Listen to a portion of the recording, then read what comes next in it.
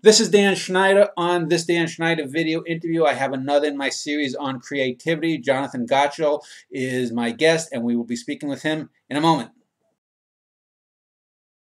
This is another in my series on creativity, its roots, what it is, and my guest is Jonathan Gottschall. He has written several books that deal with the nature of creativity. As I like to usually do, turn the floor over to my guests for a few minutes to give a little bit of background on themselves, both personally and on the subject at hand. So, welcome, Jonathan. If you could do just that, tell a little bit about who you are, your ideas on creativity, and where you're coming from. Uh, yes, uh, thanks, Dan. Thanks for having me on. Um, as, as you said, my name is Jonathan Gottschall. I live here in Washington, Pennsylvania. I have a PhD in English. I was trained as a literary scholar. Um, and coming up through the ranks, um, about, I guess it was close to 20 years ago now, it was sort of in the heyday of postmodernism, post structuralism. And it was a period uh, when I was in graduate school when the whole humanities were unbelievably cynical about the capacity of humans really to ever figure anything out. And I had gone to graduate school in a fairly uh, high minded, idealistic way. I was expecting to go there to become a real scholar, to do my tiny part to produce knowledge that hopefully would be reliable and durable and truer than what came before. And I was just told that that, that really didn't work. And so I started searching around for a way to study humanities, to study literature, uh, forms of artistic creativity in ways that would be, be more durable and more reliable uh, than what had come before. And I quickly came across the model of the sciences, the model of uh, gradually testing and refining our knowledge um, until we come to conclusions that basically everyone agrees are provisionally at least truer than, than what came before. Um, and so I, I, I, sort of embarked on an experiment. How far could I get by applying the theories of the sciences, uh, by informing my work with data from the sciences, and with uh, sort of ransacking the sciences for methodologies that I could transfer over to uh, the humanities? Could could could some questions about literature and art be asked and be addressed in a methodologically scientific way? So I sort of staked out a territory uh, in the borderlands between the sciences and the humanities as a sort of bridge, um, a way to use uh, information from the humanities to inform the sciences and vice versa. And that's still where a lot of my work uh, is is going today. However, I should say that you know that the, the, the whole sort of academic establishment wasn't really all that um, open to what I wanted to do. So I've had uh, some some success, you know, some good publishing success, some some good, I guess you'd call it media success. Um, but I was never really able to find a foothold in humanities uh, departments and English departments. I was seen as sort of a threatening figure. Um, and so I've left uh, the academy, and in the last few years, um, I've been writing different sorts of books. I wrote a book called The Professor in the Cage Why Men Fight and Why We Like to Watch, which is a book about cage fighting of all things. And I've been trying my uh, hand at my own sort of creativity, trying, trying to write some, some novels. So right now, my head is very much in a, a sort of fantasy land of, of, of, the novel that I'm trying to create. Okay, so well, oh, I'm sorry. Go ahead. No, I'm, I'm done. I was about to pass it back to you. Okay. Uh, I've done this is maybe the seventh or eighth creativity uh, show I've done in this series, and I've done all different types of creativity. Uh, the last one, in fact, was on non-human, the cosmic creativity that I spoke of. But let's uh, focus on uh, your book uh, about the storytelling animal, since. Uh, as you said, that seems to be the basis, of literature, etc. It seems to be more up your alley. Um, you mentioned uh, a certain hostility uh, towards you from, I would assume, uh, MFA programs, creative writing programs. Uh, why was it? And I ask this because my website, which has been around for over 15 years now, is generally loathed in the MFA writing establishment because when I look at, when I read people like the Jonathan Franzens or the Richard Russos or the David Foster Wallaces, I see at best bad soap opera level writing and at worst just indiscriminate jizzing that isn't really uh, uh, telling any kind of a story. And I'm not saying stories have to be A to B to C plot driven. Absolutely not. 2001: A Space Odyssey is a great film with a great story that totally dashes that kind of formula. Why were you seen as a threat? Uh, uh, do you think uh, to, I guess you would call the literary or the academic establishment? it wasn't so much the MFA types. Uh, Can you hold your mic up a little closer? You... Sorry. Yep. It wasn't so much the MFA types in my case. It was very much the the uh, PhDs, the literary theorists, the the literary critics um, who uh, inhabit literature departments, who are entrusted with studying literature. And I spent a lot of times trying to figure this out. Um, why was my work uh, seen as interesting in the, in the, sort of general public? That you know, the book "The Storytelling Animal," for instance, sold very well, and it's been a book that has actually sort of been adopted now uh, in many uh, English departments as a sort of entry level uh, uh, text uh, in English departments. But I think you know there was multiple issues. Um, the first thing is I think that academic literary studies is really deeply conservative. Uh, the people in those departments are conservatives.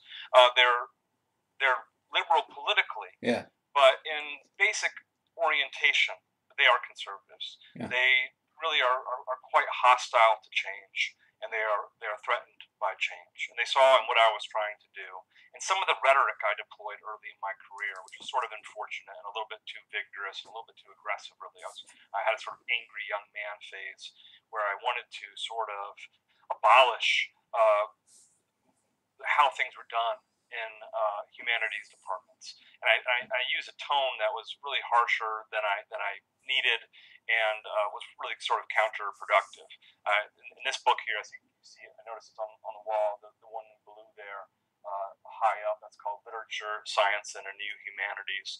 And that book starts with an introduction calling for total upheaval mm.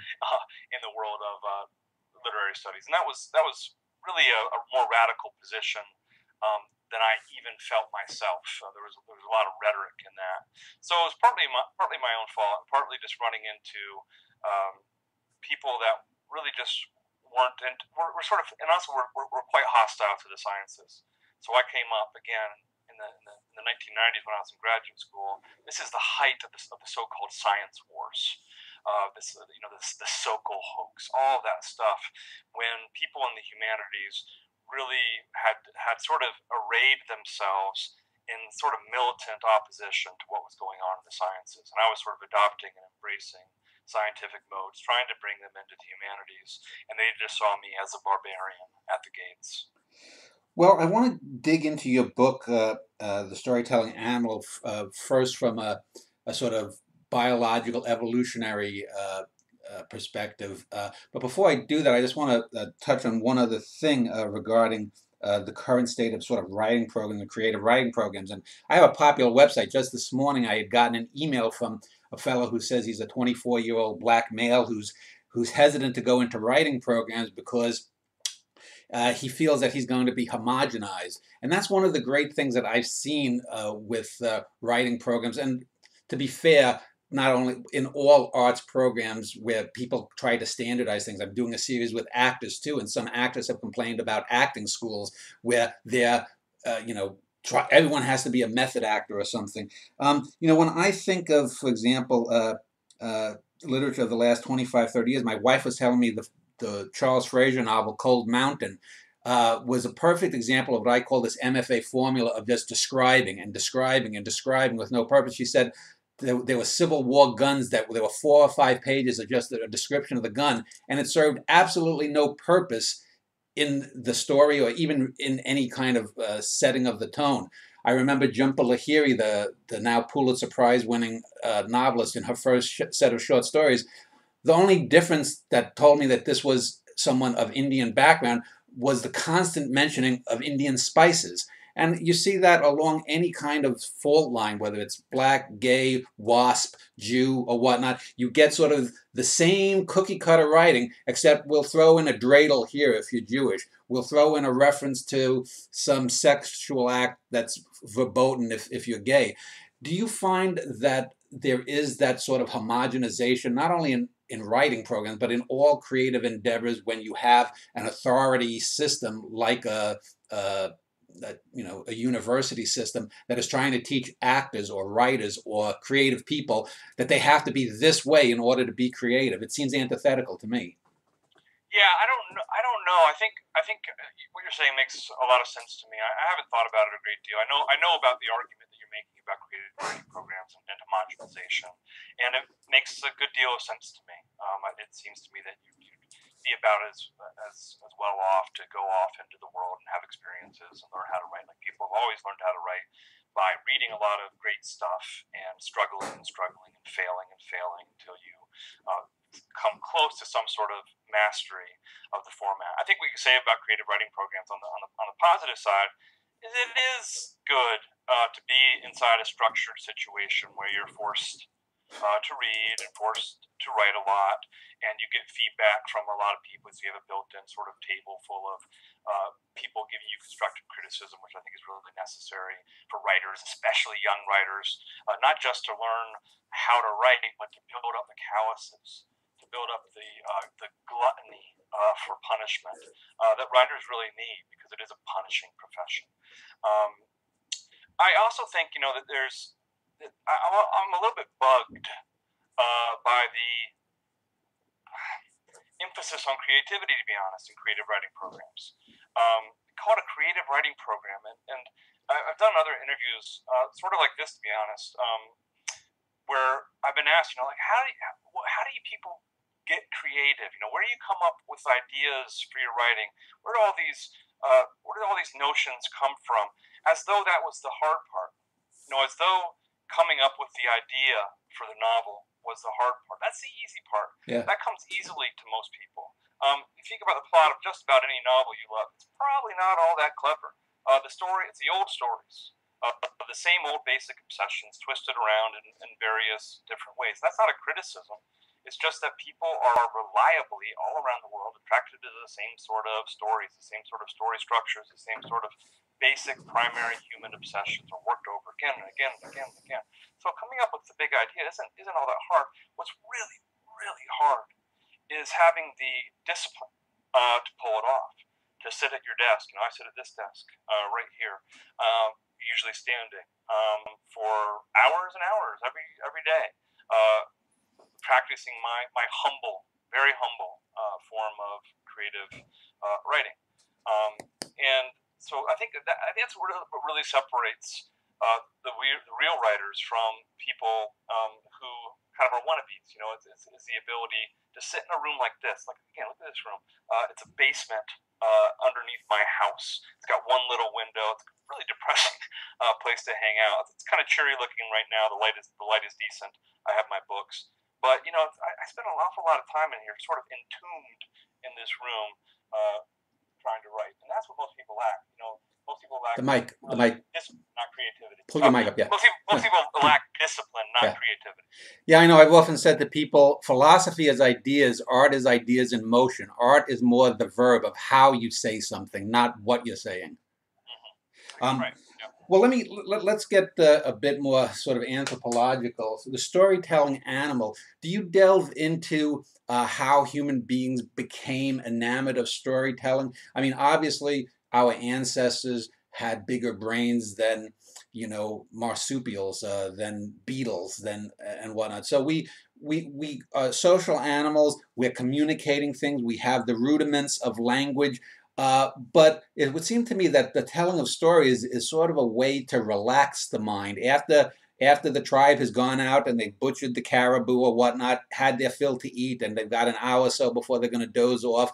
Maybe storytelling comes up around the campfire or whatnot. How do you think that evolved, and what purpose did it serve? Yeah, I think it's really an interesting question. You know, if you think about story, it's one of those things like it's so primary and basic to human life that most people just never think about it very much. It's sort of like wondering, hey, why do we have hair? You know, why do we have two legs instead of three? People don't ask these questions. The same goes for why are we creatures of art? You know, why are we? Um, art's this weird uh, thing, you know, and we're kind of obsessed with it. We live in art and we uh, practice art, we consume art, uh, and we consume stories. And it's one of those things that's kind of hard to explain. It's kind of easy to explain hair. It's kind of easy to explain when you have two legs. It's kind of hard to explain why we like stories so much, especially especially stories that are fake. That are stories that are about the fake struggles of pretend people. So it might be obvious to you, like why you might tell a story about a real story, a true story. Hey, you know, George, he walked down to the river uh, and he got eaten by a crocodile. Um, with the moral of the story being clearly stay away from that river; it's full of crocodiles. Or if you have to go there, um, go there very carefully. Um, and so, uh, but with fake stories, with fictional stories, you know, why do why are humans so obsessed with this? You know, probably you last night and almost everyone listening to this uh, any night of the of, of their life almost will spend several hours per night just engrossed in a novel or a short story or a film or a TV show about the fake struggles of, of pretend people. So, so why is this? Uh, evolution should prune away wasteful activity, uh, if unless it, unless it's conducive in some way to survival and reproduction. So those people you talked about around the campfire, why did they sit around for an hour listening to stories before they dozed off? They should have just dozed off. They should have just gone to sleep and restored their energy for useful activity. And so the question is, what is the hidden sort of evolutionary benefit of storytelling that kept it from being pruned away by this ruthlessly uh, uh, utilitarian process? And I'll, I'll, just say a couple things about this. Uh, the first is we don't know, not for sure, uh, because you know behaviors like storytelling really don't fossilize very well. Um, we know sort of we have sort of what used to be called living fossils. You know, uh, tribes that used to be called primitive, but that were living in sort of something like the, the basic ancestral human condition uh, up into the 20th century. And those people had richly developed storytelling traditions. So it looks like as long as humans have been humans, they've had uh, storytelling. Uh, so why, why is this? Um, we don't know for sure. Uh, this idea has only been getting attention from scholars and scientists for maybe a decade. So there are a lot of different ideas, not really enough data to choose between them. Uh, the second idea, the second thing I need to get across is that story could very well be for a lot of things. It probably is for a lot of things. And to help you to imagine this, I like to have people imagine their hands, their own hands. You look at this thing, like, I mean, it's right in front of your face all the time, but you probably never look at it. You, you wiggle your fingers around, you know, you see all the things that you can do, and you ask yourself this really basic biological question What is this thing for? You know, what is it for? And you say, well, it's obvious it's for feeding myself. I can make this little tweezing grip get little things, and I can make this five finger chuck grip to get big things, and I use it to caress people I love. I use it to uh, clench it up to, uh, to, to do violence uh, when I'm threatened. Um, so the, the hand is obviously a, a Swiss Army knife. It's for a lot of things. It's not a single purpose tool like a screwdriver or a hammer. And I think the same is probably true of storytelling. It was shaped by multiple evolutionary forces to do multiple jobs. Now, should I just launch into what my preferred idea is? Yeah, go ahead. Okay, I don't want to just blab and blab. No, go. Um, so one possibility, one one one of one of these possible uh, functions of storytelling. Um, I like to go back to the function. I'm sorry, the, the form of stories, and to question whether or not we can jump from the form that stories reliably take all around the world to a hypothesis about the likely function so if you see a hand axe for something, like an ancestral hand axe, never saw a caveman use this to chop up a goat, but you can look at it, you go, man, this, this is probably a cutting tool. They probably got this pointy tip. You jump from the form to a hypothesis about likely function. And we all think of storytelling as this sort of really creative, artistic uh, genre, and in many ways it is. But no matter where you go in the world, no matter when you go there, you always find the same amazing thing that people tell stories. On the whole, their stories are exactly like ours. They focus on the same few big plights, big problems, and they have the same basic structure. So, what's a story? A story always has a, a character. The character always has a problem some sort of problem, some sort of challenge, some sort of trouble, and they attempt to solve it. Stories are problem solution structures. And yeah, if you're an English major, you'll you'll flog your mind right now, and you come up with a few exceptions, like, well, Finnegans Wake, does that really fit? You know, most times you find an exception is because the storyteller was trying very hard to break out of the prison house of this sort of universal natural grammar of storytelling. And again, on the other hand, it might be really obvious to you that stories are this way, that they have this problem solution structure. But if you think about it, it's not one bit obvious that it ought to have been that way. many of us would have expected to go around the world, and find storytelling traditions where the stories function basically as escape pods into these hedonistic paradises where trouble is unknown and where uh, uh, uh pleasure is limitless. Uh, but you never ever find that. Stories are about trouble. Stories really aren't about people having good days. So, you know, stories are about people having bad days, often the very worst days of their whole life, trying to gut through. And so, um, why? Why are stories that way instead of all the other ways they possibly be? Why are they so focused on trouble? Why do we want to go into when we go into fiction? Why do we want to go into sort of hellish landscapes uh, rather than heavenly ones? Um, and here's what I think. I think uh, stories basically function as something like uh, flight simulators. So you go into a story and you have this very rich immersion in a virtual world where you get to practice up on all the big problems of human life um, with the added benefit of a simulator that you don't die at the end. You get all the experiences, you get all the, uh, the sort of training, um, but the hero of the story dies in your place. Um, and we have some evidence that this is actually true, some sort of laboratory evidence that this is actually true, um, showing that people who spend a lot of time in stories, especially fictional stories, uh, really do get better at, at, navigating life some very basic ways. They get better they're, they're, they're better at their, their, social skills are better. They have higher emotional intelligence. Uh, they seem to be uh, better at, at, at tasks uh, involving empathy. Um, so it seems like we by, by entering into the sort of fictional problem solving scenarios, we seem to get better at solving problems in the. And again, this is uh, this is a hypothesis, so this is not uh, carved in stone. And I'm not saying this is all that stories are for, but I think it's part of what stories are for. Well, let me ask this: uh, you mentioned about uh, storytelling form. It seems to me that uh, uh, as human uh, technology has increased, especially in the last uh, few centuries, we've seen different types of, uh, at least heroes in stories. It used to be that uh, the stories that we, we had from caveman days through, uh, I guess you would say, before the Industrial Revolution, all of the heroes were gods or kings or warriors. These were all the protagonists. In some cases, like the Gilgamesh myth, all three in one.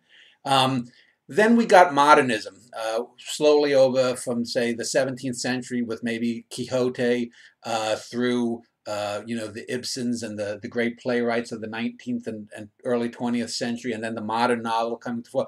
Then we got real life characters. We got the Willy Lomans, the Ishmaels, the Huckleberry Finn type characters, which were sort of every man or every boy kind of characters. And now it seems that uh, uh, from what I'm reading, in especially in American fiction, and to a certain degree, the little bit of uh, foreign fiction I'm reading too, is we're moving back towards, oh, I guess that the characters are maybe not resembling gods, but this this worship in 21st century, especially in the last 20 years with celebrity. Uh, I find a lot of the characters that I read in short stories you know, have these very vapid lives that they're, they're much like the Kardashians or whoever the reality TV show is. Do you think that as as as uh, society has been speeding up, that we're moving into the different types of heroes and heroines that we're using in whatever stories, and as you said, not just fiction, but also now on cable TV and uh, uh, YouTube channels and, and web series and webisodes or whatever you want to call them, that we're that we're we're really just sort of uh, having a, a, greater turnover rate of, of how long our, I guess, uh, kinds of storytelling heroes or, or, or, characters are are lasting? Yeah, I, I, I'm, I'm actually not sure. It's, it's, it's, a, it's a very nice overview you just did. Um, I, you know, you write a book about storytelling. It's such a vast, vast subject. You know, it encompasses so much in human life, from fictional forms and non-fictional forms to to the songs we listen to, to our to the dreams we dream at night, to the stories we tell each other over coffee or at the water cooler or whatever, um, the gossip. Um, you know, so I, I had to I had to draw some lines about where what I was going to cover and what I was not going to try to cover. And And so, for the most part, I was looking for, I was looking, I was interested in the biology of storytelling, evolution of storytelling, where this comes from. And so, I was very much searching for what unites all storytelling traditions rather than what separates storytelling traditions rather than whether it was across cultures or across centuries in the way that you're talking about in the west um, so i don't know if what you're saying is, is, is true or not um, i see you know there's a big anti-hero trend of sort of uh, satanic uh, Mil- Mil- Miltonic, you know, Mil- mm. Milton Satan uh, type uh, characters in uh, Tony Soprano and Vic Mackey from The Wire. These incredibly charismatic, uh, somewhat larger than life uh, villainous heroes. Um, and you know, and what you're talking about, you're you're also talking a lot about literary fiction.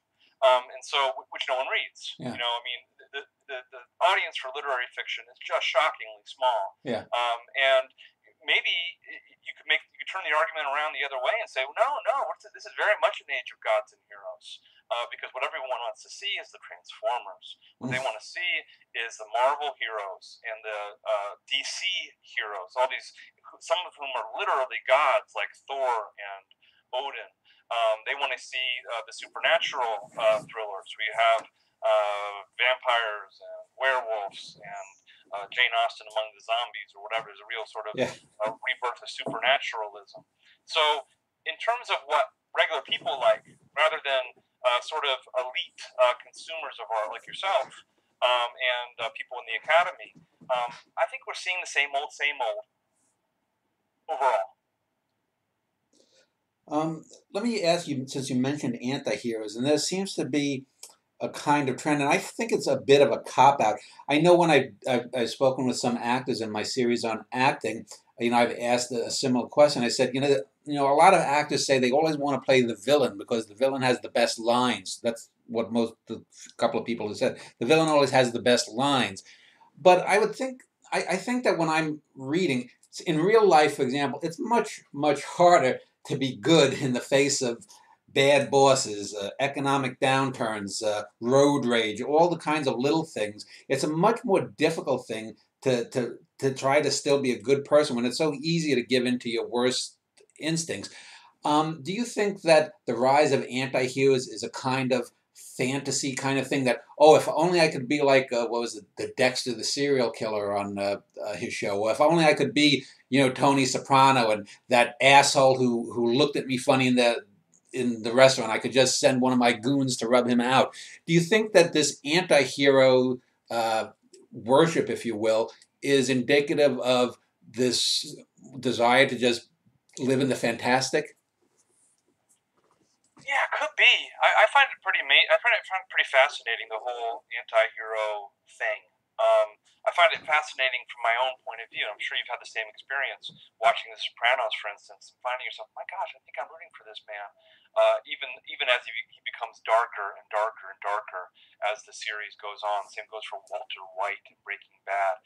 Um, my gosh, I think I'm rooting for this man, even though he's clearly the villain uh, of the story.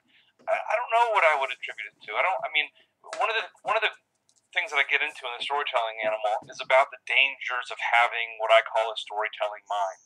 A mind that is always looking for patterns of data. And if it sees disconnected patterns like a constellation of stars, um, it wants to connect the dots and to see a sky picture that isn't really there.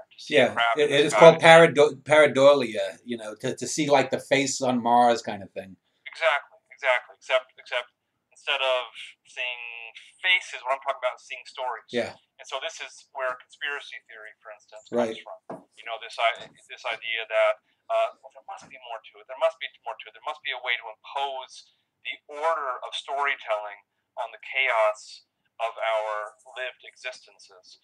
And so it's always easy to, to for humans uh, to, to, sort of make up a story about where things come from. You know, what, where does this anti-hero trend come from? Is, is, it, is it come from uh, dissatisfaction with the sort of cartoon heroes of the past, or does it, or does it reflect something, some sort of deep cynicism in the American character?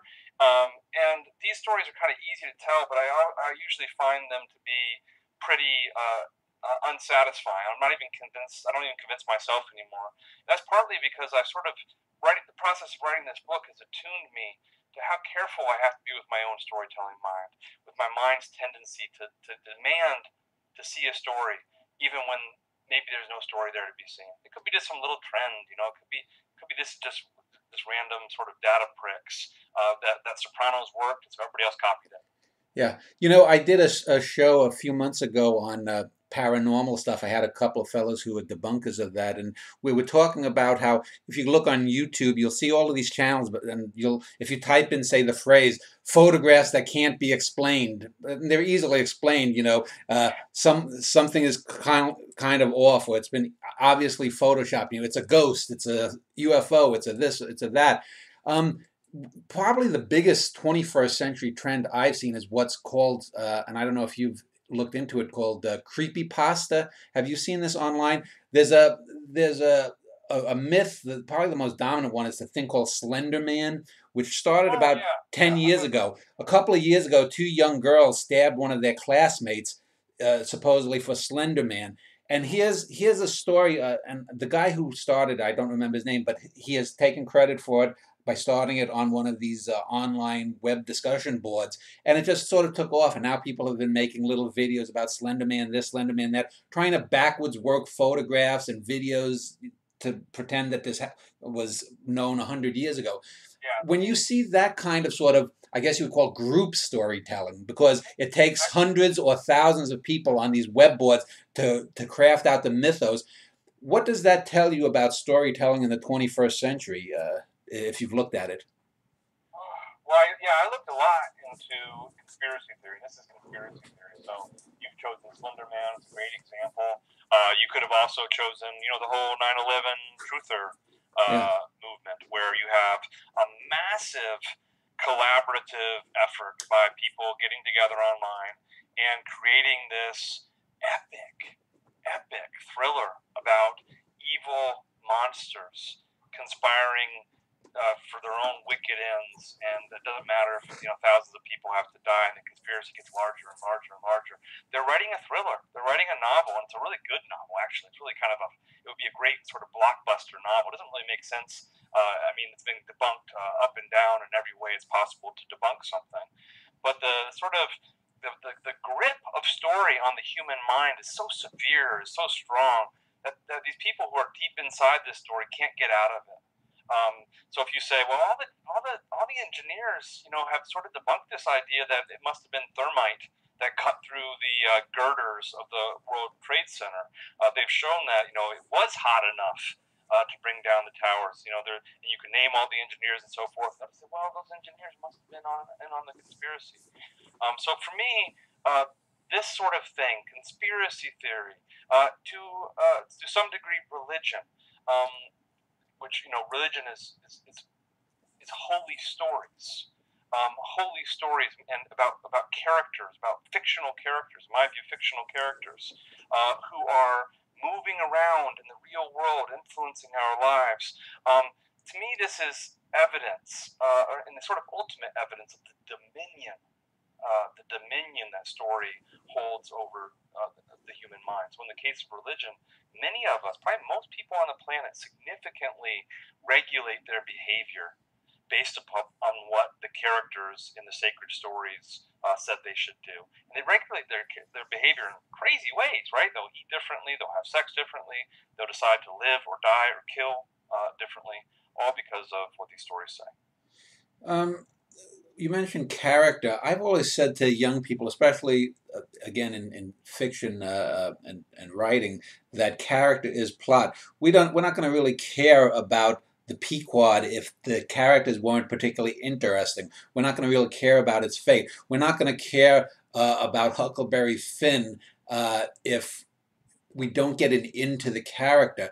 Um, it's one thing when you're talking about gods, the Olympians, we don't really necessarily need to know every inner foible of Odin or his mistresses or whatnot. But when you're talking about the the, the great characters, especially let's say in American uh, fiction, whether it's on on uh, film like uh, Charles Foster Kane or the Huckleberry Finns, do you what what to what degree do you think that storytelling is driven by the desire to get in someone else's shoes. I've often said to people that in order to have a great character, Forget about the color of their eyes. See what those eyes are noticing, looking at in their world, and that'll give you an idea of the character. How important do you think character is in storytelling? I think it's awfully important. You know, uh, you, you, you, said that uh, character is plot. Is that what you said? Or plot yeah. is character? Um, yeah, and, and, I think these things are very difficult to disentwine. Uh, you could turn your formulation around, uh, possibly uh, the, the, other way. Um, I think it's I think it's really really important. I mean, it's a sort of uh, it's it's the soul of it. It's the soul of it. And I do think people. Um, need to go into stories, find find believable characters, find characters they can uh, love and, and, and hate, and they have to uh, seem like real people and act like real people. It's sort of the challenge of one of the great challenges of the storyteller. And you know, so all my life I've been studying stories, but I've had this kind of question na- nagging me in the back of my head. I wonder if I could do it myself. I wonder if I could uh, write a novel. Um, and because it's my favorite art form, and um, I just always wanted to know if I could do it. So now I'm trying, and I find that one of the so you have to as as a, as a novelist, um, you have to create this incredibly textured, rich, believable virtual reality experience for the reader. They have to feel like they're going into uh, a, a, real world that really exists and that has texture and smell and sound, and so they can recreate that whole universe inside their head. And, the, and that universe has to be populated by people who are also virtually realistic. Uh, they have to um, act like people act. They have to emote like people emote. They have to talk like people actually would talk, not how people would talk in a crappy play, but how they would actually talk uh, in real life, or some or some some uh, simulacrum of how they would talk in real life. And so, yeah, so one of the one of the big challenges for me, uh, and I think probably for all writers, is is producing people that seem real to the reader. Um, I know in your book, I believe you talk about gaming and uh, the the future of storytelling. They have things called now cosplay, where people dress up in costumes and act out scenes from movies or, or whatnot.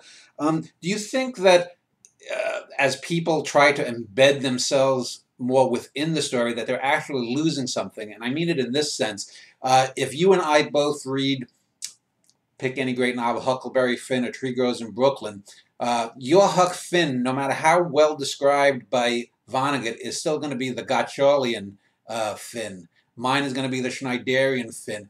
And uh, I've often said, if no, if you didn't know who Marilyn Monroe was, and I gave a thousand 10,000 word description of what she looked like, your Marilyn Monroe would still look a little bit different in your mind than my Marilyn Monroe. But once you put that image, and you know the image, you know, uh, an image is worth a thousand words or whatever this uh, saying is, and you're in there and you're battling the Transformers in some game or or Bugs Bunny or whoever it might be, you can't get you can't get that. So do you think that that even as people want to get more immersed in stories, they're actually losing something by by that? I absolutely do. Um, I think, yeah, I think we're entering, into something a really really interesting phase in the evolution of storytelling. So you know, you can take, uh, can tell the story of the evolution of story. So it goes back, you know, to, like to those people around the hearth fire that you talked about earlier on, and, and it was that way for tens and of, of thousands of years up until the invention of the printing press, when stories are finally written down, and even then, for a couple more hundred more years, story is primarily oral because most people can't read. It's only the printing press that makes it possible for mm-hmm. for story to be read. It makes make, makes learning to read possible because I mean uh, cheap because books are cheap enough. Um, and then you know you get into the, the modern age and we have uh, movies come along and uh, mass-produced novels come along and then the iPad comes along and the new thing that's going to come along is and we're already in it is immersive and virtual reality forms of storytelling. The precursors of this are are video games where you go into a story and these are very movie-like stories and you get to move around and you're not watching the hero of the, the, the action film anymore. You are the hero of the action film. You're the guy with the rock jaw, uh, the rock jaw and the gun, and you're running around that world uh, trying to you know defeat evil.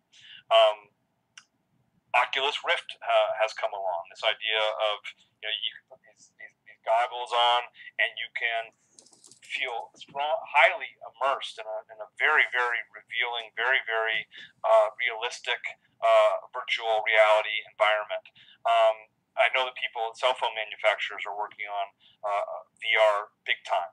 Um, so what's going to happen when we go into those worlds? One, one consequence, as you said, um, we won't be inventing these worlds in our head anymore. So used to, like a novel is like a uh, script for a movie. Yeah.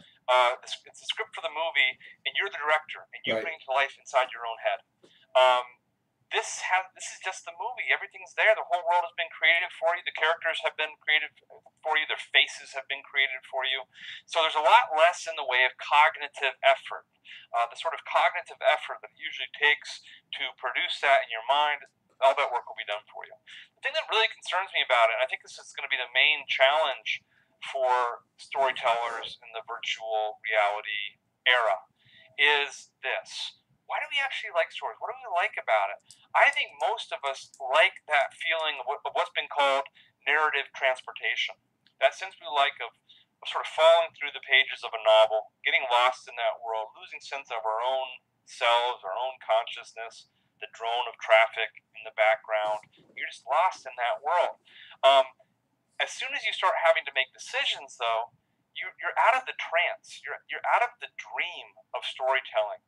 And if you're in the virtual world, you have to make the decisions. You have to say, well, what do I want to look at? Do I want to look at that over here, that over there?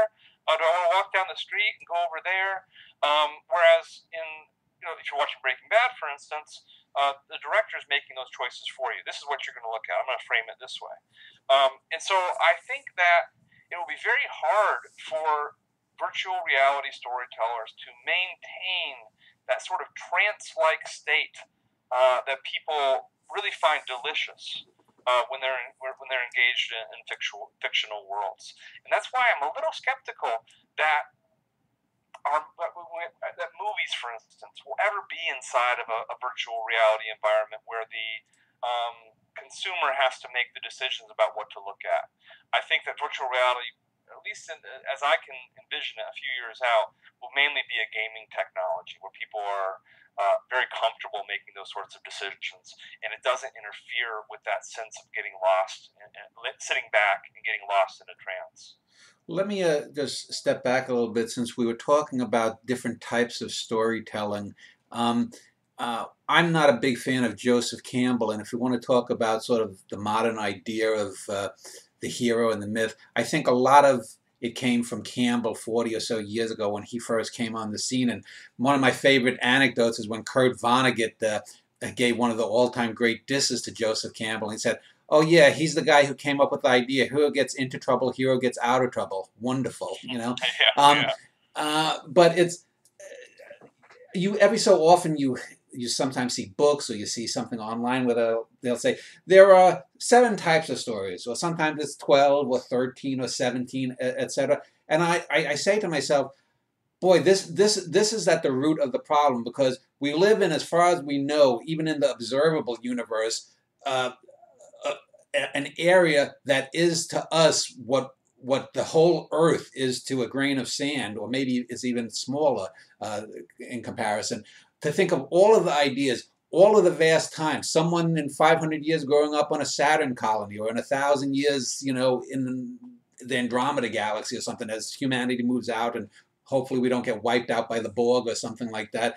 I mean, there's so many things that that are out there. It just to me bespeaks the utter, as you said, sort of the conservative. Maybe it's not conservatism. Maybe it's just the limits of most people's minds. Maybe it's it's, it's a conservatism bound by nature.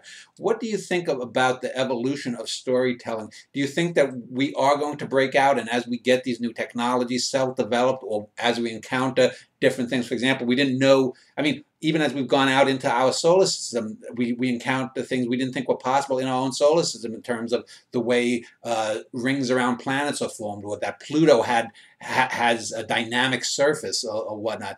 Uh, do you do you think that the future is going to see people say no? There's not just seven types of storytelling. Here we can do it this way, that way, the other way. You, uh, what are you hopeful yeah. for the future?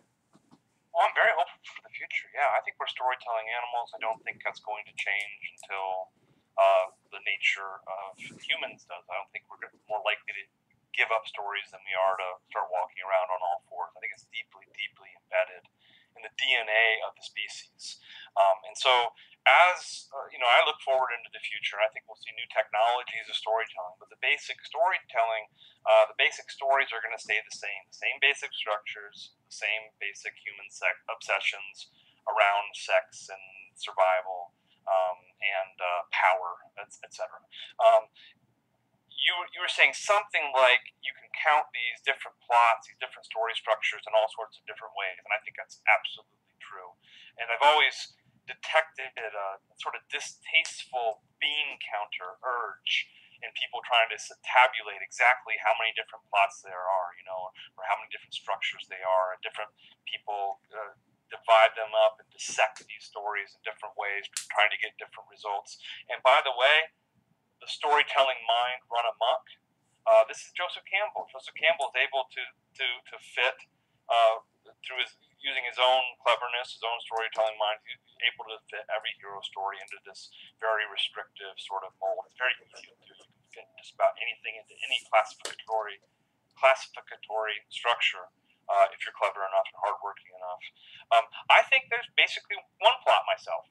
Um, I think if you if you if you strip storytelling down to its most basic essentials, you take everything, all the sort of uh, filigree away, all the frills away. You get down to the, the, the basic skeleton that under, underlies all storytelling. This is the one thing that I see running through almost all of it, is what I talked about before this sort of uni- universal grammar of storytelling. Stories are about characters. Characters have problems. The characters attempt to solve it. That's what a story is. Um, usually there's some sort of moral dimension to these stories, too, that's often important uh, or that's that's usually important. Unless there's some sort of moral dimension to it, the story uh, will seem empty to us. So if you know Moby Dick is just about this uh, deranged sperm whale that likes to smash into boats and chomp up sailors, uh, it's not really going to be the greatest of the, the great American novels. Um, it's uh, because Melville is using all of that action to convey uh, a message about you know whatever it is. It's a hard message to decipher, but a message about evil, uh, most people would say. Um, that's that's what makes it stick. Um, so with, without that sort of message, it, it seems it seems empty to us. So I look at storytelling as problem structure. That's what I call that universal grammar. Problem structure within a moral context or some sort of moral thing uh, that, that storytellers are getting across. And again, I know if you're an English major, you'll be able to think of some exceptions to this but these will be very much the exceptions to prove the rule. And by the way, you'll find that these stories are read by no one. Mm. The exceptions you'll find are read by no one except by people who have been forced to read them by their English professors or by people who are sort of joylessly grinding their way through through the literary canon. Uh, so, so, you know, Finnegans Wake, the book people don't read uh, unless they're forced to, or they're joylessly grinding their way uh, through the literary canon. I want to I want to end this interview in the final segment that's coming up, but let me just ask a final question in this segment. Uh, in researching and writing about storytelling, uh, the narrative process, were you able to look at other creative processes such as the writing of a symphony, or how maybe a dancer interprets some music, or the way a painting or a painter might look at of a canyon from one aspect to another? And were you able to parallel, have you parallaxed the storytelling urge with other forms of creativity? Frankly, no. No. Frankly, no. Again, I was I was having to be pretty ruthless about setting the boundaries for my project, but that is a book I want to do. Okay. Uh, on my on my to do list is a book called something like I don't know, maybe I call it the art making animal, and I'd ask those questions, or maybe I call it the science of art, something like that. That might be that might be my next uh, nonfiction book. Okay, well let's end this segment, and in the final segment, I'll give you a few minutes to wrap up your thoughts, and we'll do that in a moment. I have been speaking with Jonathan Gottschall. Uh, he's written a number of books on creativity. Uh, the most cogent one that we were talking about was his book called The Storytelling Animal. Uh, Jonathan, uh, if you could wrap up any final thought uh, or summation uh, about creativity in general, and then just state maybe what your next work is going to be. okay. Um, yeah, I don't, I, again, I've been sort of annoyed by the whole influence, or this whole, whole emphasis on creativity these days, partly because I see a lot of really glib uh, business books. You know, how can you en- enhance your creativity in 10 mm. easy steps? And, you know, it's just, it's, it's been somewhat of an annoyance to me uh, because I think that the, it, it, really misplaces emphasis, as I said before. I think that uh, creativity is pretty easy for most people, especially when it comes to uh, writing, uh, storytelling. It's not the coming up with the ideas, it's sitting around for years making that idea uh, come to life. The only thing I've noticed, and this is sort of research based and based on my own experiences, when it comes to my own creativity, uh, I need to be somewhat disciplined, not only about working, but about not working. So there's a sort of, for me, every day starts the same way. I get up, and as soon as I can get down uh, to my office or out on the back deck, weather is nice to do some work, I do that. I have three or four hours of intelligence in me, and as the day wears on, I get stupider and stupider. You know, uh, my I just the, the, energy just runs out, um, and I need to have the discipline to stop. Then I move into sort of uh, the early phase of the day is clenched. You know, I'm working hard, I'm focused, and the, and the, and the second part of the day is unclenched, uh, where I might be doing some reading, I might be taking a walk, um, and I'm not trying to think about my project at all. And oftentimes, that's where all the good ideas come from. Uh, when, mind is relaxed, when it's not thinking about anything, uh, that's where uh, that's when things just appear. It's like this gift. And so I walk everywhere with my little iPhone uh, attached to me, and I dictate notes um, as I as I go. Uh, I don't know if this will be interesting to your audience, but you know, uh, maybe it will be since it sort of relates to what we were saying at the beginning of this interview. three or four, three years ago, roughly three years ago, no, longer than that. Four years ago, um, I was at the sort of end of my academic career. I wasn't really, sh- didn't really know it, um, and I was sort of. I've been working as an adjunct for ten years. I'd never found my way into the profession, um, and I was sort of pacing around my office one day, uh, kicking the carpet, you know, not feeling very good about myself. And I happened to look out the window, and this new business had moved, opened up across the street. Uh, I had never noticed before. It was called Mark Schrader's Academy of mixed martial arts. It was a cage fighting gym. Was like, wow, that's so funny. You know, the way it's, I mean, it was so close. It's like 100 feet away. I thought it was so funny the juxtaposition of the cage fighting gym right there across the street and the English department uh, on my side of the road. This sort of juxtaposition of civilization and, and savagery. And I stood there at the window for a long time watching those guys. And I sort of had this little joke uh, playing in my head. It was a joke at my own expense. The joke was, what if I went across there join those guys. And I thought it would be funny because I'd never been in a fight before and I've never been a tough guy. Um, I also thought it was funny because my colleagues, especially my, my boss, would be able to look up from her, you know, poetry volume and there I'd be uh, across the street. She could see me, you know, fighting in the cage. And so I sort of laughed at that. But then I, uh, I uh, went across uh, to write a book. I write a book about um, this sort of ancient glamour of violence and about masculinity uh, deep down. What, you know, why, why are men uh, the way they are. And so, uh, yeah, I wrote that book. It's called Professor in the Cage: uh, Why Men Fight and Why We Like to Watch. Um, and that was that was my that was my latest project. Uh, so it's a really big departure uh, from my from my previous work, obviously. Yeah, you mentioned about uh, some of these notes that people put up. I, I the one that gets me is when people say everyone's creative, and my wife had a great answer for that. She said that's like saying you're an athlete because you walk down your driveway to get the mail, you know, as if that makes you LeBron James. but uh, anyway, I wanted to thank you uh, for spending some time talking about creativity. Uh, I will link below this video to Jonathan's website, which is uh, jonathangottschall.com, and you can look up more of his uh, information and work there. So again, Jonathan, thank you for your time. Dan, I enjoyed it. Thank you very much for having me.